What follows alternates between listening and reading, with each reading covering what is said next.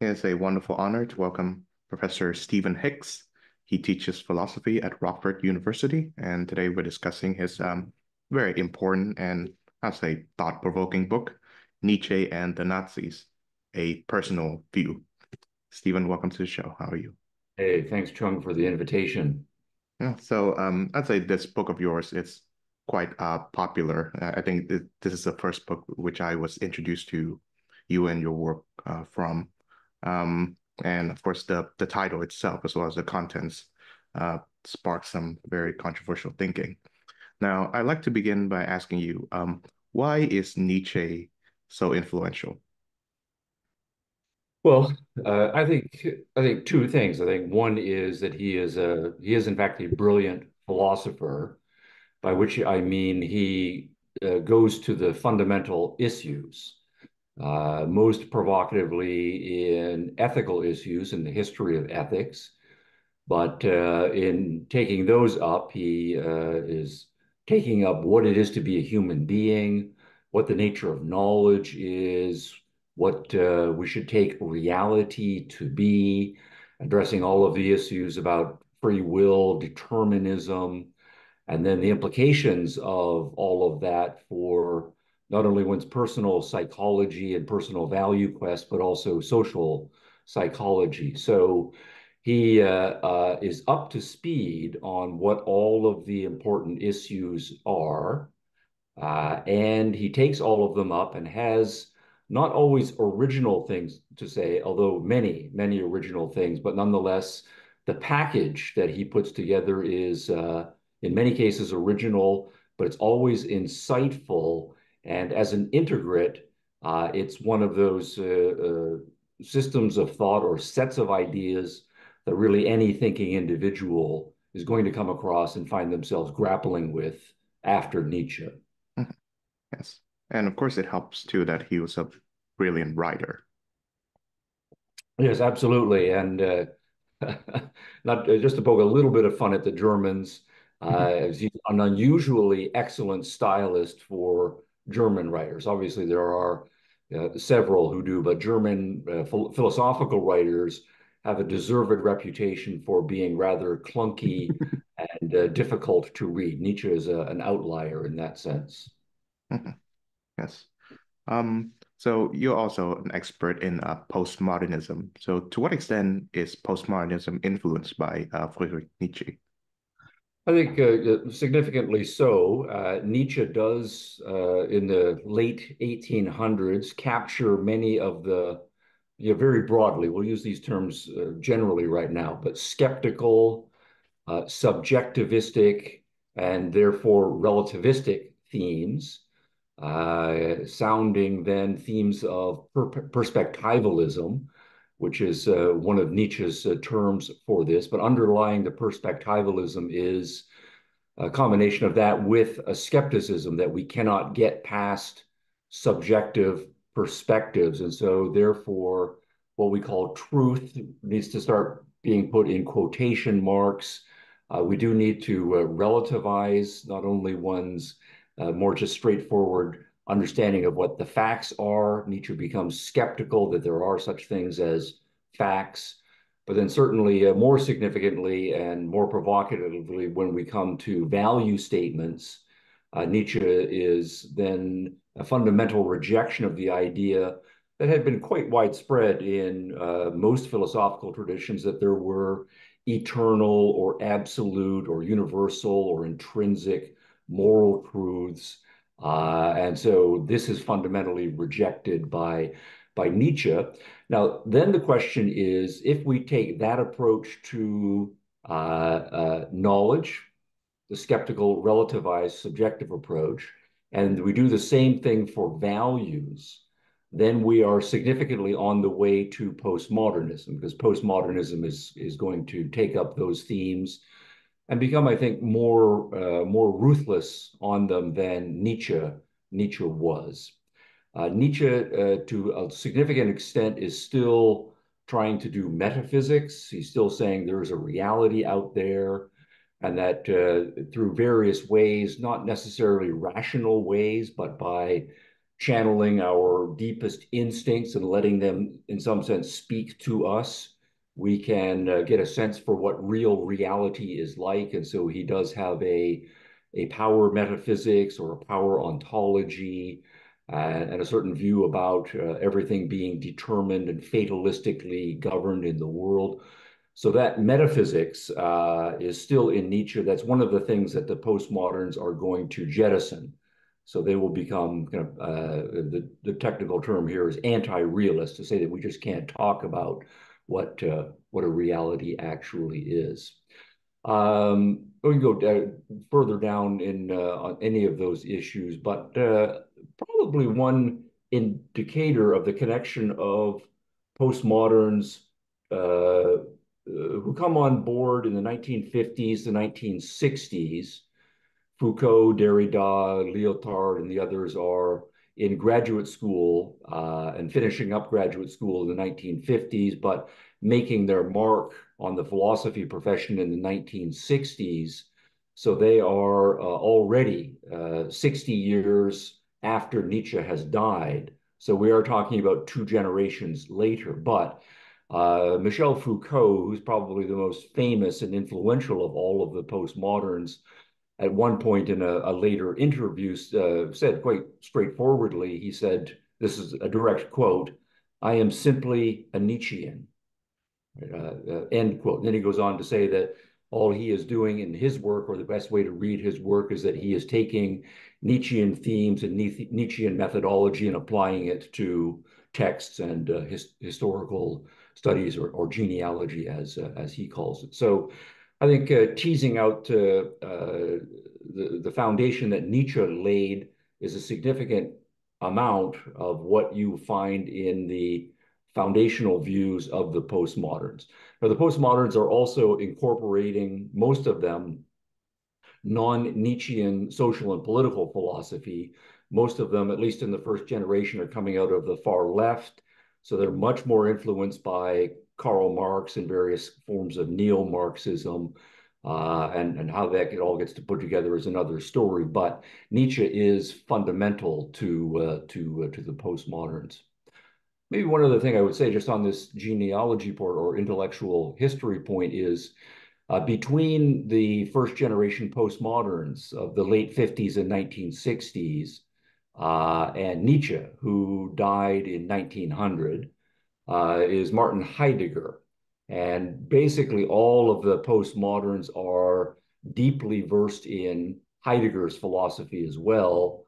And Heidegger is deeply influenced and deeply immersed in Nietzschean philosophy. So some of the postmoderns will take from Nietzsche filtered through Heidegger. And then, then teasing out the different threads and subversions is uh, an interesting exercise. But the question is absolutely yes. From Nietzsche to the postmodern, some strong connections. So uh, your short book, Nietzsche and the Nazis, argued that uh, the ideas of Friedrich Nietzsche are uh, filtered through and in large part influence Nazism. Um, so to what extent can you see the influence of Nietzsche in our contemporary politics? Uh, contemporary politics being 2024. I would say so, yeah. And the last yes. five years in general, I suppose. Oh, well, that's a that's a big question. That's a hard question. Uh, I would uh, say one element would be if you then take the postmoderns who are developing their ideas in the 60s and then becoming more institutionalized in the 70s and 1980s and then you start to see postmodernism uh, applied in the various professional disciplines like education and nursing and journalism, uh, and, uh, uh and the rise of uh, uh, kind of postmodern legal theories in the 90s and on into the 2000s. Then you have a, a progression from very high philosophical theory through the academy more generally, then into applied disciplines and then spilling out more significantly into the culture.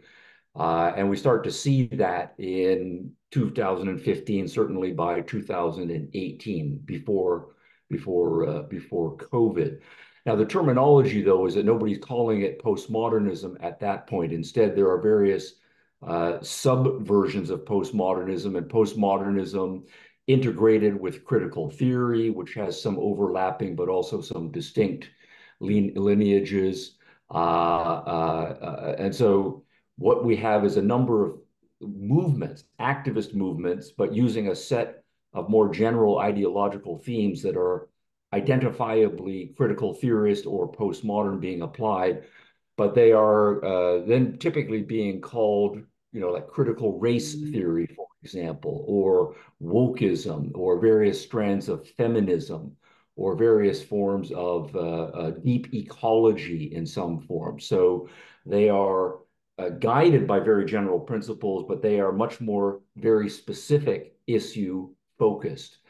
One place you can see it, I think, is also uh, in journalism, where uh, you find more explicitly journalists and journalism professors saying that objectivity and the, the, the issue of neutrality, presenting both sides of a case, or just presenting the facts so that readers can make their own mind up, or if one wants to argue something, say in an editorial or to write a persuasive piece of journalism, nonetheless to make it clear that you are uh, upholding standards of journalism, doing investigative journalism, trying to get your facts straight and presenting those. You see a significant demographic within journalism rejecting all of that traditional approach to journalism and explicitly being more activist. Uh, and that's an important cultural shift that postmodernism feeds into significantly. Um, uh, I don't want to talk about uh, contemporary politics. We're in uh, in, a, in a, an unfortunate election season here in the United States. Uh, but I would also say that the the way in which we are doing politics publicly for the last eight years or so, where issues of character and truth uh, are, are, are taking an even further back seat than has become normal in the, the debasement of political discussion in the democratic republics for the last century or so. I think we've taken another step downward, and uh, some of that uh, is certainly attributable, attributable rather to uh, postmodernism and its uh, debasement of uh, epistemological and cognitive standards in doing politics. Mm-hmm. I see. Now, I've tackled uh, topic of uh, the woke movement uh, multiple times mm. in the show um, from an against perspective most of the time. Mm. Um, now, why do you believe that um, Nietzsche's seething contempt for the weak and idolatry of strength and vigor um, can be compatible with uh, the woke movement's um, purported advocacy for the weak and the marginalized? Yeah. Yeah, that's an interesting question. So in Nietzsche, he, he ultimately has a power ontology. So uh, what we call you know, justice and truth are simply rhetorical strategies that we use to advance our power agendas, rather than saying that first we figure out what the truth is and then we devote our power to advancing the truth, or we figure out what's just and we use our power to advance the just. So that inversion is important. And then, uh, so if you have a power ontology, then the next obvious thing is to say is that obviously power is not equally distributed among human beings. Some people are smarter, some people are stupider, some people are more physically powerful, more physically vital, some people are less so. Some people have more courage, some people are more cowardly. So, in almost any dimension of human activity that's important to you, you can uh, you know, specify that dimension and send, say people are stronger or weaker along that dimension. Then I think it becomes an issue of where your sympathies are. And staying within a Nietzschean framework, it has to be a, a sympathy approach. You're not going to say that one should objectively say that these ones are better and these ones are worse, or that we ought to do this, that, or the other thing, because all of that is on Nietzschean grounds simply going to be an expression of what your underlying kind of psychological and biological state is. So uh, a pure Nietzschean, I think, then would say, I, Nietzsche, or I, Nietzschean, recognize that everything is just power, that power is unequally distributed, but I identify with, that's one connection, that language there, or I feel more strongly uh, attuned to people who are here. So maybe my th thing is that when I see people who are strong and intelligent and powerful and vigorous, something in me thrills to that. I get excited and I get inspired and I want to be like that kind of person. Now, I'm not going to say that I am objectively the right kind of human being, but rather that's the kind of human being that I am. And then I think a pure Nietzschean then at the same point in time would say there are going to be other people who would say, yes, power ontology is true, everything is power, uh, and there is are these distributions of uh, power, some people stronger, some people weaker on all of these various dimensions. But when I see those strong, intelligent, powerful people, they scare me. They frighten me. I don't I don't like them. And when I see people who are weak, who are suffering, who are on the receiving end of various bad things happening in the world, I feel for them. I resonate with them. Uh, and I wish that I could do something for them. And again, as a Nietzschean, I would not say that my position is objectively true or should be universalized, but that's just the kind of person I am. So I think a Nietzschean explanation of the woke would be to say that we Nietzscheans agree on the power ontology, we agree on the distribution of assets or distributions of power, that everything is unequal, but we are biologically and psychologically constituted differently, such that the woke resonate with and identify with the weak, whereas I, uh, uh, the historical Nietzsche, identify with the powerful and the strong. So no disagreements, so to speak, on the fundamentals, but then an, an affective dif difference. So Nietzsche would then, uh, you know, use the kinds of analogies that he is famous for using for saying if we look more broadly at the animal kingdom, the animal kingdom divides into more predator types and more prey types of beings. And the prey types, they are typically herd animals. They're more fearful. They stay together. They don't stick their necks out. They're scared of the predators. And that's just how they are. And then by contrast, there are predator animals that are wired biologically, and therefore their psychology is an expression of a predatory biology. And they are typically more alone, willing to go off and do their own thing. They enjoy conflict. They're not afraid of conflict. They feel contempt for the weak and this picks up another part of the, the question that, uh, that, that launched this uh, this discovery, where they they uh, they look at the weak and they say either I would like to dominate them or I would like to eat, uh, eat them. They look tasty to me, but I certainly would not want to be like them. That's that's beneath my dignity as a wolf or as a lion to think that I could ever have anything in common and would want to be like them.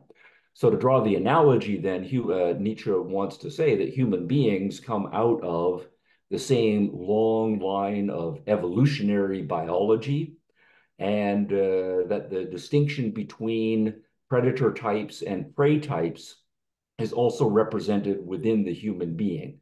So some of us have evolved to be more uh, prey-like, uh, sheep-like, herd animal-like, and others have evolved, the, the small minority, to be more predator-like, to be more lion-like, to be more wolf-like.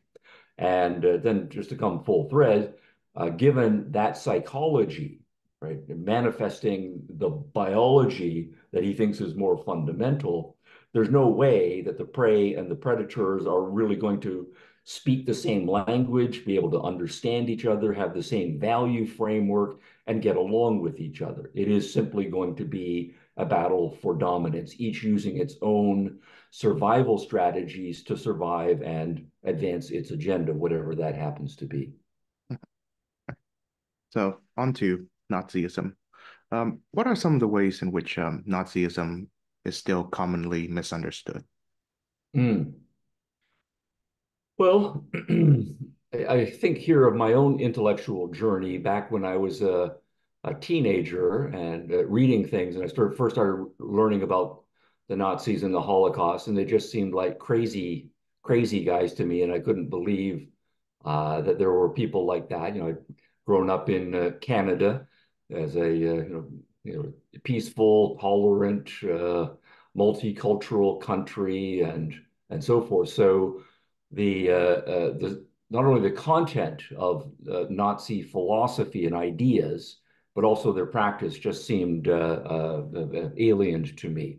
So it wasn't until I started reading more seriously, not just the general histories, um, and here my philosophy training uh, was important because as an undergraduate, you're reading all of these different philosophers and they all disagree with each other and you understand their arguments. And part of your philosophical training is to try to get inside the philosophical framework of whatever philosopher you are reading to see them from the inside. So I was reading uh, you know, many of the philosophers like Nietzsche, for example, for the first time, and Karl Marx and, and, and George Hegel and various others uh, and and trying to read them sympathetically, and then of course, having done so, then step outside which of these, what, you know, what elements of these things do I think are true or false, and how do I argue in formulating my own views, and so on. At the same time, I was uh, still reading uh, uh political history and intellectual history. Uh, you know, I became interested in World War II and World War One, uh, and trying to figure out why these terrible wars had occurred, uh, and then starting to read some Japanese history and history of Italy and Germany and so on. And at that point, uh, you know, reading what uh, Hitler himself had said, particularly in the 1920s before he came to power, and reading what Joseph Goebbels had said, uh, not only his speeches, but some of his earlier novelistic writings and uh, other uh, articles that he had written in, uh, you know, often ideological pieces and so forth, but laying out his laying out his thinking. And I started to realize that, you know, however much I disagree with these guys, nonetheless they have uh, ideas. Uh, it's not just that they want power, and they have ideas, and that those ideas uh, have an, at least an internal consistency. Uh, and many of those ideas are normative ideas where they are saying these things are true and important and good. Uh, and so they're using the language of good and evil. But the way that Hitler and Goebbels and the others in the 1920s, before they come to power, are writing is that they are writing in a way that uh, uh, shows that they have read the more academic and more public intellectual big brains in Germany and other places uh, of their generation.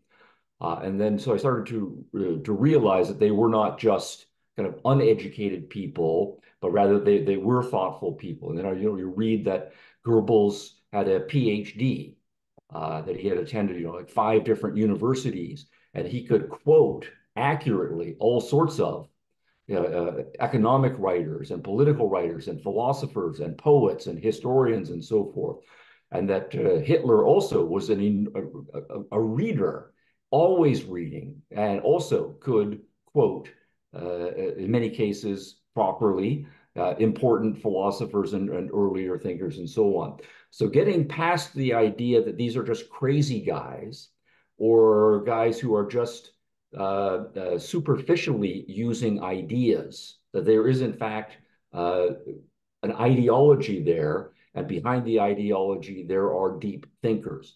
And then the next stage was for me to start reading what I think of as the intermediate thinkers. So um, I had read Nietzsche at this point. I had read Martin Heidegger. You know, Martin Heidegger, by pretty much everyone's estimation, is the most brilliant of the German philosophers of his generation already in the 1920s. And he joins the Nazi party and becomes an enthusiastic advocate for him. And then you start to then see uh, that not only the first rate philosophers like Nietzsche and behind him Hegel, but also Heidegger of that generation have ideas that accurately can be seen as part of the National Socialist program, but also that the intermediate thinkers, as I think of them, the people between the political activists like Hitler, Goebbels, and the others, and the deep philosophers like Heidegger and Nietzsche, stand people like Oswald Spengler, who was also a PhD and wrote a public intellectual bestseller, or Moeller van den Bruck, who in the early 1930s, another PhD, wrote a public intellectual bestseller calling calling his book The Third Reich. And this is 10 years before the Nazis come to power. So uh, I became more alert to how the deepest philosophers of the 19th century, and here I would include Hegel, um, certainly Marx to some extent, uh, Nietzsche, uh, but then how they are taken by the PhD holding public intellectuals of the late 19 teens and 20s, like Oswald Spengler and Moeller van den Bruck, and then picked up by someone like Martin Heidegger, and from them to Joseph Goebbels and Hitler. So there was a philosophical program at work. Another part of it that was very important to me was realizing that there were all sorts of uh, uh, high-powered German intellectuals and, and other nations as well who were uh, not stupid people. These were PhDs and people who had won Nobel Prizes in physics and in literature who and you might then say, well, okay, they're not philosophers and they don't know economics and they haven't read political history deeply and so forth. Maybe they're more likely to be bamboozled. But nonetheless, these are extraordinarily intelligent people who know uh, uh, and can talk the talk about what the Nazis are standing for, and they are agreeing with the Nazis for those principles. So starting to see it as an intellectually deep movement, however much I disagreed with it, was was crucially important. Now, the other part of it is that the Nazis in the 1920s are operating in a republic. It's the Weimar Republic, and it has significant democratic institutions as well. And if they're going to be successful in that regime, then that means that they have to get lots of votes. Uh, they have to play the parliamentary politics game, and they have to play within the Republican and Democratic institutional rules. And so there's a huge then amount of party politicking that goes on, and a huge amount of what goes on in the mass newspapers and putting rallies together, using the modern tools of, of, of technology uh, you know, and, and, mass printing of pamphlets using the early radio uh, and, and, filming the speeches and having those speeches spread. So they also are doing uh, very serious uh, politicking in inside that framework in order to attract the masses.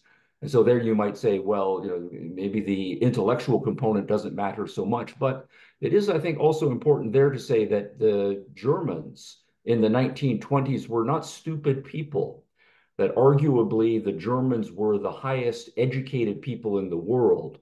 And when you look at uh, newspaper readership in the 1920s and the number of people listening to radio, not just for music, but for news and for commentary, uh, the, the, Germans are the highest in the world, the highest uh, literacy rates in the world. And uh, when you start looking at some of the professions like uh, teachers, and you start to realize that here are teachers who at least have a you know good solid education, and they now and then get a teaching position at a German school, that says something about your accomplishment. That uh, uh, the, the highest professional demographic represented in National Socialist Party membership was school teachers. So these were not uh, dumb, uneducated people who were being bamboozled. There was a serious intellectual program at work. So that became a very interesting project, and all of that is the background to why uh, I came to write the book. Yes, and to my embarrassment, I, I used to believe that um, Nazism is either anti-intellectual or appeal to those of uh, lower intellect. So um, hmm. uh, I think. Of, well, I was uh, I was with you. Uh, yeah, so it, it is hard to and and the, and I would say it's it's also true that as part of their populist program, the Nazis did find a way to take their general message and make it appealing to unintellectual people and more brutal people as well. Yes. So what is it about the the Nazi program that appeals to high minds like Heidegger and I would add Carl Schmitt as well, amongst others? Uh, yeah, that's right. Yeah. Uh, mentioning Carl Schmitt, absolutely important here. Another brilliant, brilliant mind. And to pick up on your earlier question about the relevance of all of this now, I mean, Carl Schmitt is, uh, uh, even though he was a, a card carrying uh, National Socialist Party member uh, uh, and, and, responsible for much of its innovations with respect to constitutional law, um, Schmitt is now beloved and widely read among uh, people on the left, uh, you know, putting that in quotations, but the very far left uh, and many of the postmoderns, even though traditionally we would say that Schmitt as a Nazi, according to their understanding of the political spectrum, is on the, the far right. So Schmitt is one of those thinkers who uh, is deeply appealing to intellectuals uh, who are, so again, scare quotes extremist far left and far right people of our of our of our generation. Uh, so to try to make sense of what makes it seem like an ideal well one thing you can do is you can say look we accept some sort of power ontology.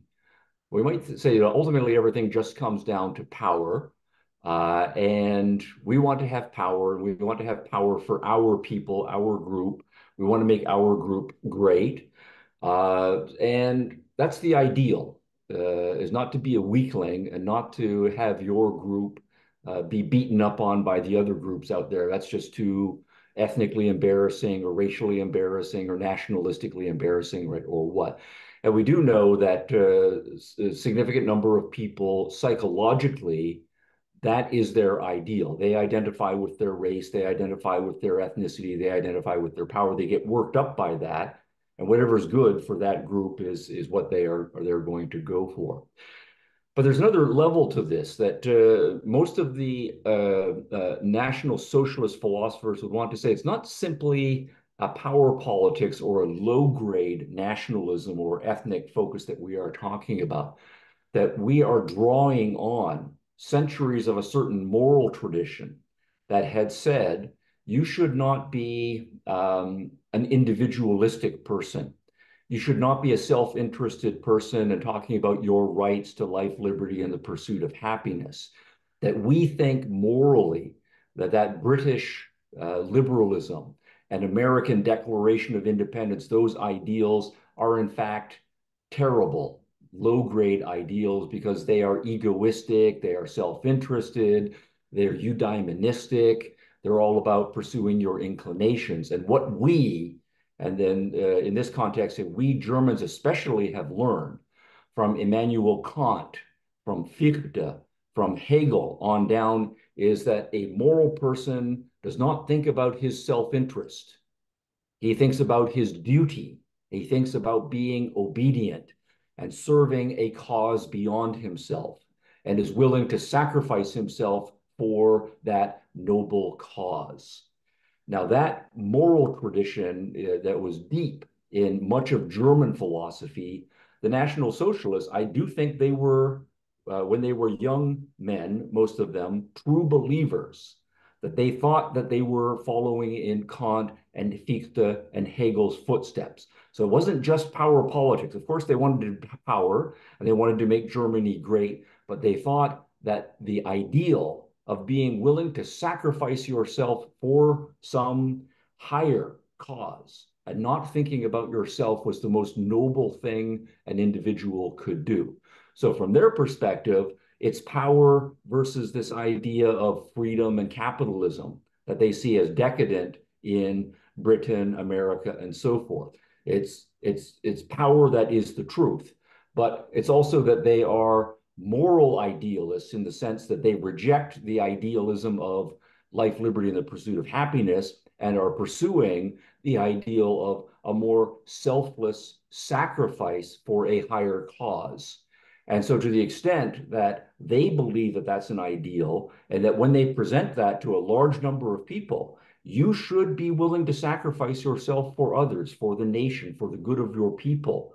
Um, that is the higher calling. They found a, a ready uh, mass movement as well of people who wanted to say, yes, I want to serve something beyond myself, be, be, be, uh, be, uh, be willing to sacrifice myself for something greater than myself. So that uh, is a kind of idealism, which is then to say that if we are interested in confronting the Nazis intellectually, it's not only their political program, it's also their ethical program that needs to be highlighted and uh, uh, and and, uh, and discussed.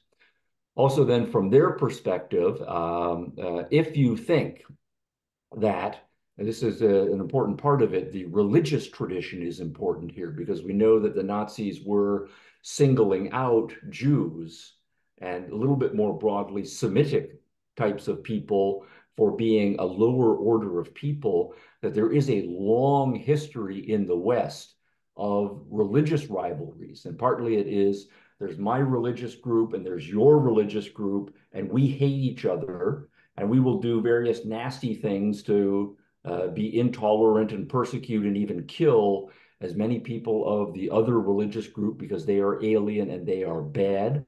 But at the same time, internal to that religious tradition uh, has been a strong notion of the to be a moral person, you need to obey higher authority.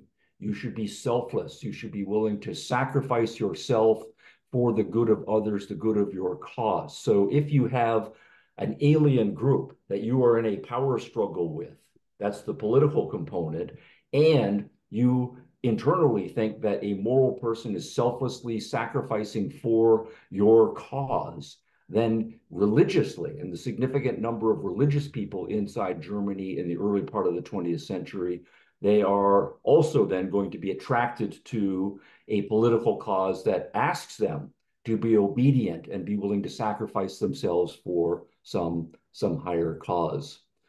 Um, now here I'm obviously singling out uh, uh, the Christianity and the Christianity's long history of rivalry and in many cases persecution of Jews. Uh, there were a significant number of Christians who saw their moral program as fitting with the Nazi moral program. Now, to be fair. There are lots of other forms of Christianity that emphasize different themes within Christianity and therefore were opposed to the Nazis, but there was a significant Venn diagram overlap as a as a, uh, a part of it. Uh, and so, uh, yeah, being opposed to the Jews, being willing to sacrifice, being willing to serve some group beyond yourself, the Nazis uh, uh, made significant uh, um, mileage, so to speak, out of that. Yes. And of course, we, we know now that Nietzsche is very contemptuous of Christian morals and uh, yes. the Judaic uh, ethical roots that uh, preceded it. So, right now, this is one is... of the ways in which Nietzsche and the Nazis differ from each other.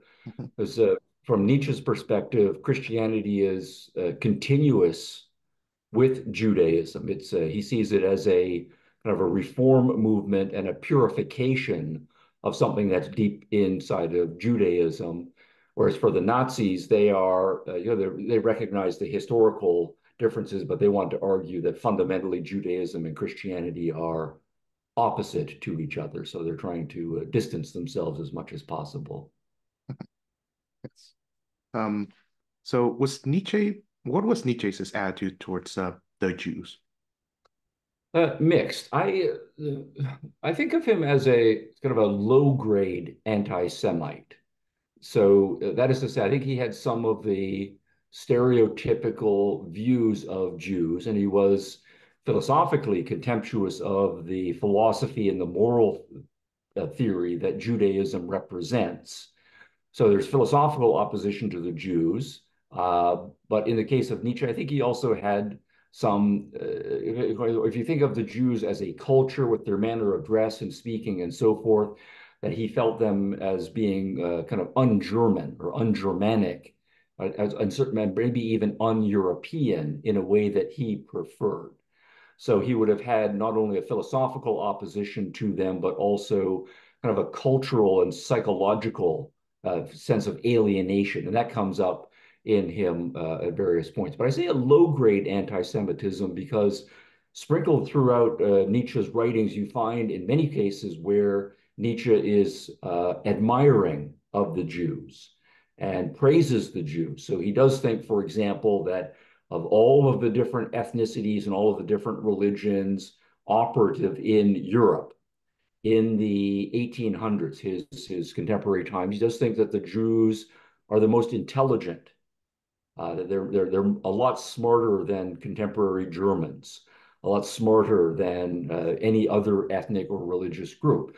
And he thinks that intelligence is a kind of power, and the fact that the Jews have been able to cultivate this very powerful intelligence, he thinks is to their credit. And so he sees them in that sense as, as admirable and as a, as a worthy foe. He also recognizes that uh, the Jews, despite uh, the terrible persecution that they have endured pretty much everywhere for thousands of years, that nonetheless they have been able to survive, to keep their cultural identity together, to keep their religious identity together, uh, so to speak, the worst that anybody has thrown at them, and nonetheless they survive. There's there is an internal vitality to Judaism, and Nietzsche, as someone who says you have to admire any survival strategy that works in this brutal power play world that works, and the Jews have done it for longer than anybody else ever has. That's to their credit. So there is a kind of admiration that pops out in Nietzsche frequently uh, uh, uh, for the Jews. So that's why I say he's not um, a, a, strong anti-Semite in ways that are much more common in Germany at the time. Of course, uh, Nietzsche also had a sort of love-hate relationship with uh, Richard Wagner, who, in, in many more degrees, was a much bigger anti-Semite than than Nietzsche. Um, yes. I wonder what did Nietzsche see in in Wagner that he finds appealing? Yeah, this I think takes us into uh, uh, musicality, and uh, we'd have to talk some about the philosophy of music. Uh, some, but I, uh, I think the short answer is to say that in the early Wagner, Nietzsche recognizes someone who has a genius, right? and, and, and, clearly uh, Wagner is a musical genius. The the scope of his themes, his orchestration, his originality, and all of those things Nietzsche recognizes, just as most people who know music will recognize, even if they don't like the music, as as uh, of, of genius level. When we get into things that are harder, we start talking about the themes that are in music.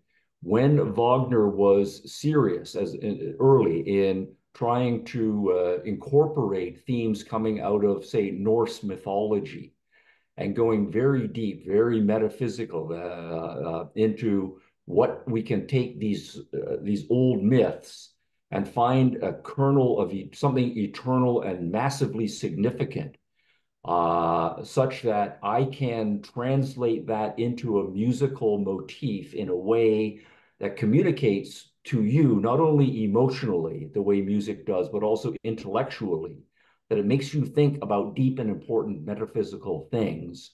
Uh, that, that, that Wagner is extremely important, and the fact that at that point he's not uh, uh, uh, uh doing low grade pop music, he's not doing band hall music, he's not doing uh, things that are, are easily accessible these are uh, uh, musical themes and motifs that require that uh, one become a cultivated person to live up to the music.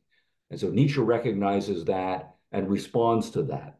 Uh, and then I think also Nietzsche was younger, and so he is looking at that point desperately for older people who can be kind of mentors or at least heroes to look up to because he's not seeing very many of those and uh, and people who have a hero worshiping philosophy like Nietzsche does. They want them not to merely be platonic forms. They want real heroes to look up to. So I think uh, all of that explains why Nietzsche was so strongly, positively responsive to Wagner early on. Then I think, uh, uh, again, trying to keep this short, uh, Nietzsche sees a turn in the later Wagner. And I think he, he, sees that turn in a direction of a kind of cowardice or a kind of, of weakening, where uh, instead of the strong, stern, ultimately fatalistic Norse, if we might say, uh, uh, themes in the early music, you start to see Christian themes about forgiveness and kinds of redemption and a, and a certain kind of softness or a longing for something that at least to Nietzsche's ear sounds like a turning away from that strong, forceful, deep theme to a, a, a psychologically weaker uh, form. And so uh, Wagner's genius then is perverted into this metaphysically and morally objectionable Christian uh, thematic universe. And Nietzsche finds that unforgivable. I believe um, Nietzsche uh, used to say that I would never forgive Christianity for what it did to Pascal. what, what so, what in Nietzsche's view did Christianity do to Pascal? Yeah, I don't know. I don't know specifically. I, uh, I have read some Pascal, and I enjoy teaching uh, Pascal's Wager uh, when I do courses in philosophy of uh, of religion. Beyond that, I don't know. Pascal was a brilliant mathematician as well, so uh, I can only speculate. But I do know that Pascal did combine kind of a, a rational mathematical brilliance with a deeply fideistic, anti-rational uh, uh, uh, form of Christianity. So I think if Nietzsche thinks that Pascal had potential to be something more than he was had he not been born in a Christian environment. Uh, that's probably what the the criticism is, but I'm speculating. So, how did the Nazis uh, appropriated Old Norse myths to their political advantage. Yeah, uh, again, it's not something I know as much about, but I do know that the Nazis, uh, like the fascists down in Italy, were uh, in, in trying to say that we are a progressive force. We're trying to create a new Germany, or we are trying to create a new Italy that we do not simply want to say, you know, uh, we don't like modernity and we want to go back to the good old days and have an old fashioned kind of German feudalism or Italian feudalism or or whatever. So in that sense, they are forward looking, but at the same time, they are recognizing that uh, uh, the way the human mind works, and this is their brilliance as psychologists uh, and as propagandists, is that only a few people are able to think in terms of abstract philosophical ideas and principles, that those things need to be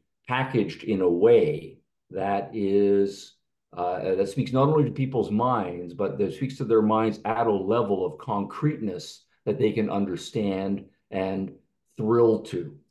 So if we look at the history of Christianity, for example, uh, we don't do Christianity, uh, or Christians don't do Christianity simply by having a bunch of smart theologians sit around and debate the meaning of the Trinity and try to convince people intellectually of the truth of the Trinity. Instead, the Catholic Church concretizes that in all sorts of rit rituals and symbols, and they uh, you know, they made the compromise in the late Middle Ages to incorporate music and architecture and the idea here is that we want to use things that can appeal to, from their perspective, largely illiterate peasants and, and people who don't have a lot of time to think, but nonetheless can grasp the message and internalize it and, and respond both intellectually and emotionally at a certain level. So the Nazis are willing to appropriate Christian themes, but they are also uh, uh, uh, willing to appropriate ethnic themes. So there are many Germans they know who want to, uh, to know something about German history, and they want to say, you know, we used to be something pretty great. You know, we uh, we we stood up to the Romans pretty well, right? Uh, they never conquered us, and we, in fact, uh, did some successful raids and invasions on them. Uh, and so there was this time when in German history, you can look back and say the German tribes or the various German um, um, uh, uh, clans and cultures and so forth were amazing. And then we went into a decline phase and we've not been so special. And to the extent that we take our ethnic identity seriously, that wounds our pride. So uh, we're interested then in looking for historical sources for the original German greatness uh, so that we can boost our ethnic pride, but at the same time appropriate and use those symbols from that time to concretize our political agenda. Now, when we are then in Northern Europe, uh, uh, uh, the, the, blending between what we now think of as the Scandinavian nations and the Slavic nations and the Germanic nations and so forth. Uh, there's a lot of interchange and back and forth all over the place. I'm sorry. Uh, at that point, so uh, so the Norse gods, as we now think of them, were pretty widespread. and so, to the extent they think that there is overlap with old German, and we can make the case and say this is partly what made Germany great back in the in, in the old days. They had strong, powerful, deep gods. Uh, uh, then we can use that for our contemporary propaganda purposes. So they are using anything that they can for different subgroups inside the German population. We've got a message that appeals to the intellectuals. We have a message that appeals to the Christians. We have a message that appeals to the people who take seriously old German history. And so we're putting together coalitions, and each has its packaging uh, of propaganda that's going to make them support us. Now, I, I do know that um, after Nietzsche died, um, his sister, who has been caring for him in the in his final years when he had his mental breakdown, um, she submitted the writings of Nietzsche to the Nazi authorities, and she edited it and in a way that would fit their political program. So a case can be made that uh, Nietzsche's sister uh, distorted the teachings of Nietzsche, and that uh, if we were to look at the original teachings of Nietzsche, uh, well, um, there you wouldn't find much uh, that would be appealing to Nazism. So, how would you answer to this? Um, objection. Yeah, I have a, I have a podcast on this in my uh, Open College podcast series, and I I think that that thesis is uh, let me do some pretend philosophy math, and I'd say it's about ninety nine percent false. So I think the more like the the opposite is true.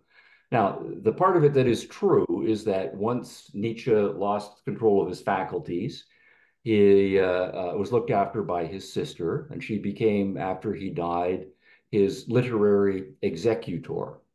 And it's also true that uh, Nietzsche left behind an unpublished manuscript that we now call The Will to Power, and that uh, uh, she arranged to have it published.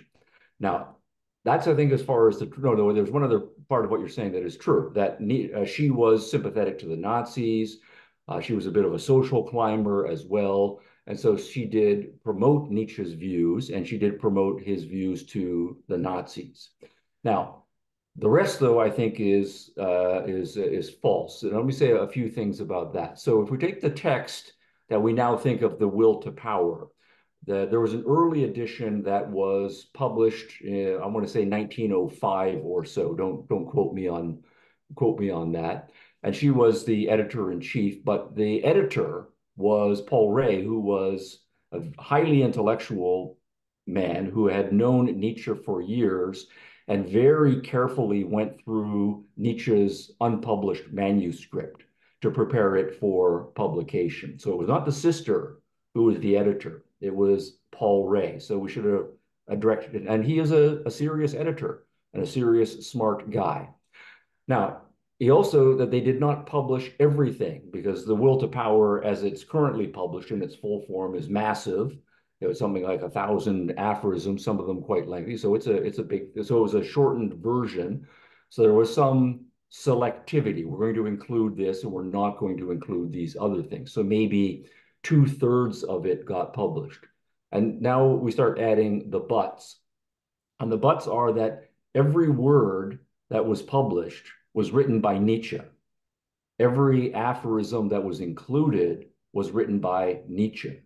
And there are no like elisions where you start one sentence and then you drop the end of the sentence and then you pick up somewhere else uh, to put things together that do not belong together. There's none of that that goes on. The editing is is uh, is, uh, is, is, solid on uh, on that score. So the most you can say is that they published an edited version or part of what Nietzsche published or wanted to publish. Now, this also, uh, we can say, what is the status of this in Nietzsche's thinking? Because he was working actively on it up until he lost control of his faculties. So he had written everything, all four books uh, that are now the will, will to Power. And what he had been working on was reorganizing it. So he had tried, you know, I'm going to, you know, make part book what I'm now calling book one, book three. I think these should go the other way around. Or I'm going to take this and move it over here and he was unsatisfied uh, with the, the different arrangements and was still acting upon that. But everything was complete. He wasn't going to add anything more to it. He wasn't going to cut anything from it, and everything was written in his words. The other thing I would say is that every uh, um, thing that is in the will to power, uh, you can look to see if there's anything new in the will to power that was not in Nietzsche's earlier already published works. And so it's important that Nietzsche had been publishing in the 1870s, uh, Birth of Tragedy, and then Human, All Too Human, uh, The Joyous Science, Beyond Good and Evil, Thus Spake Zarathustra, Genealogy of Morals, The Antichrist, Twilight of the Idols, and so on. So there's this huge corpus of Nietzschean work, and everybody who had read Nietzsche and smart people who know what Nietzsche stands for can say, this is what Nietzsche actually wrote. This is what he actually needs. So uh, then the question would be, is there anything in the will to power that is different? And I think that's an interesting scholarly question. And I think there are some things that are slightly different and perhaps uh, you know, significantly different worth thinking about. Uh, uh, and I've got a, an almost done podcast on, on this topic as well. But uh, everything that's in the will to power, you can find it in Nietzsche's earlier works. And in some cases, what it is, is that he's building on things that he has already published, expanding on or making uh, more connections between two things that he has already written. So, um, to the extent that you read The Will to Power, and the Nazi intellectuals read The Will to Power, I think as a good scholar, you have to say, you know, Nietzsche did not officially publish this. He didn't do the final sign off, but he did write every word here. So you do have to treat it as kind of one step down from having the official status of something that was officially published. But nonetheless, I think it, uh, uh, with proper scholarly treatment, uh, teaches us a lot about what Nietzsche was in fact thinking late in his career. And to the extent that there are things that differ from what the Nazis say, or, or what the Nazis believed, and I think there are such things in Nietzsche, uh, that should be recognized. But also, and this is the hard thing, that I think the, the people who are pushing the, the Nietzsche's sister myth, maybe myth is a bit strong uh, here, but pushing the Nietzsche sister myth are those people who, like Nietzsche, but they don't like the connection to the Nazis, so they're acting in a little bit of bad faith in trying to uh, to say uh, to deny that in fact when the Nazi intellectuals were reading Nietzsche and saying we think Nietzsche is one of our intellectual ancestors that they were right on many many of the points that they're drawing from Nietzsche. Okay. So finally, um, knowing all this, how should we read Friedrich Nietzsche? How should we read Friedrich Nietzsche? Yeah. Well, yeah, that's a that's a great question. One of the things that's interesting about Nietzsche is goes back to your original question about why he's so influential, is the fact that uh, people from so many different philosophical persuasions find him uh, a thrilling read and find that they learn from him. Sometimes it's a matter of learning new things. Sometimes it's a matter of learning that they need to have better arguments to defend their own positions. but uh, people who are atheist as well as theist uh, love Nietzsche. People who are uh, uh, pro-Nazi and anti-Nazi love reading Nietzsche on basically any philosophical position. There's something thrilling to uh, to read in Nietzsche. And I think also uh, for the stylistic point that you you pointed out as well, um, I think philosophers can profit from reading philosophers not only because they are brilliant and talking about fundamental issues, but can in fact uh, be a demonstration of how to do good philosophy in a way that is rhetorically interesting and uh, and even exciting. So read philosophy, uh, Nietzsche that way. What I would say though is uh, that if you're going to read Nietzsche, though, you do have to read Nietzsche in a good philosophical spirit. You do have to be willing to say, "I've got my beliefs." And I'm going to go in and I know that my beliefs are going to be challenged.